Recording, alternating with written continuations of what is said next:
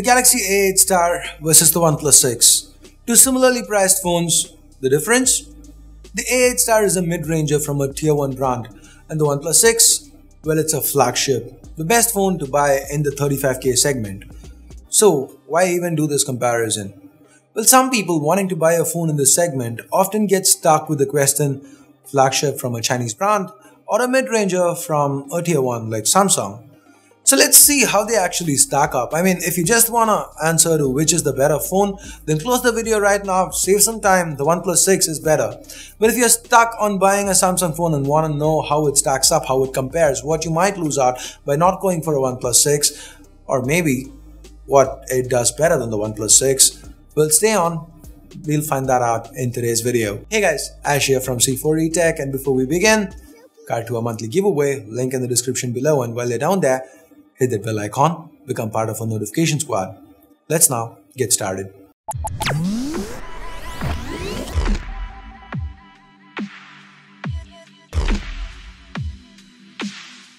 Okay, so yeah, let's jump right into this one with the specs. Of course, most of us are familiar with the OnePlus 6, right?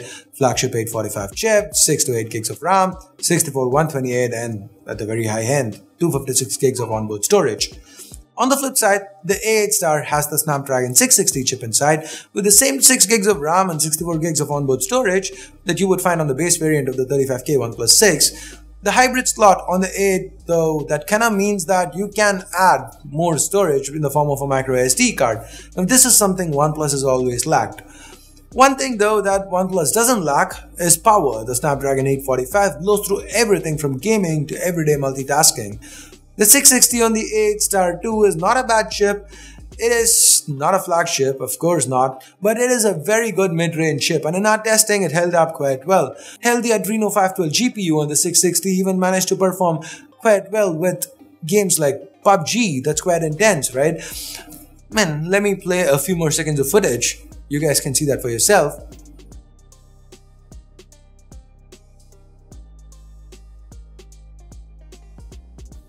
Of course, that heavy gaming has an effect on battery life, so it's great that the A8 Star has a beefy 3700 mAh battery to back it up. The OnePlus 6 falls behind here. It's got a lower capacity battery and more, more intense processor, so it kinda evens it out with support for super fast dash charging. Now moving on from hardware to software, we have Oxygen OS on the OnePlus 6, while the A8 Star runs on Samsung Experience 9 built on top of Android 8 Oreo. You guys know both these interfaces very well, so I'm not gonna talk a lot about that either. In a nutshell, if you want a fast, fluid, near stock Android experience, then Oxygen OS is gonna be better for you. But if you like more features like App Pair, Dual Messenger, Smart Gestures, at a cost of the interface speed, then the A8 Star shines, no pun intended. Both these phones also feature Face Unlock and in our testing worked pretty well. Coming to exclusive features, well OnePlus has the alert slider and on the Samsung side of things you get Samsung Pay Mini.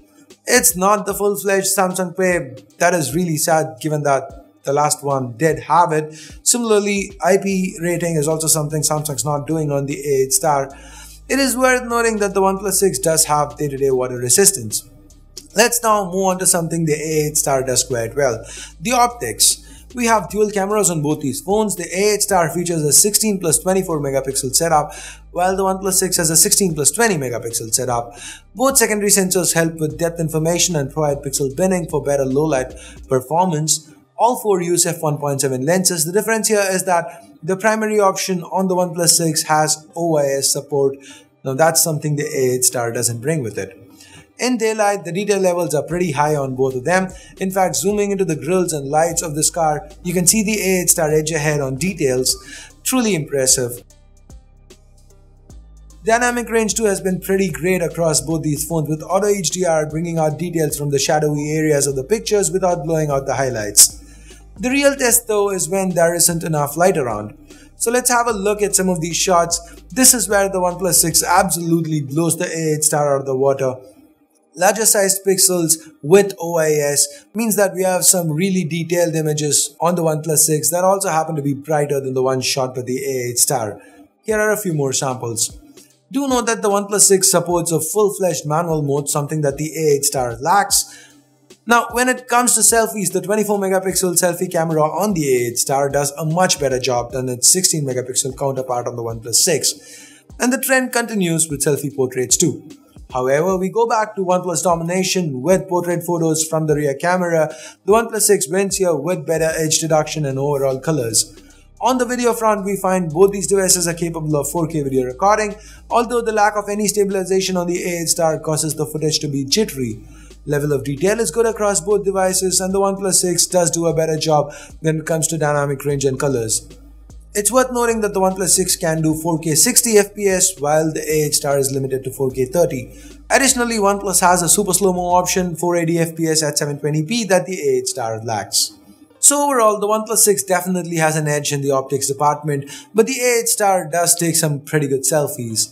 So let's wrap this one on a high. Yep, we are talking displays. These are two of the most beautiful Full HD uh, Plus AMOLED panels that we've seen, and both of them look absolutely gorgeous, right? They are similar sizes as well, both nearly 6.3 inches. So the only thing that differentiates these two here is that notch. If you're okay with the notch, well then you're gonna love the panel on the OnePlus 6.